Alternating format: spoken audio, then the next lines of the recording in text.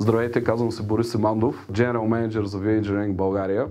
Американска фирма, която се занимава с Shared Ride и Public Transport. Преди това бях директор инженеринг в Health Group, създателите на най-популярния в света 3D Rendering софтуер V-Ray. На семинара, който ме поканиха от софтуерния, за което благодаря, ще говоря за експоненциалното бъдеще. Една тема, която изключително много ми е интересна.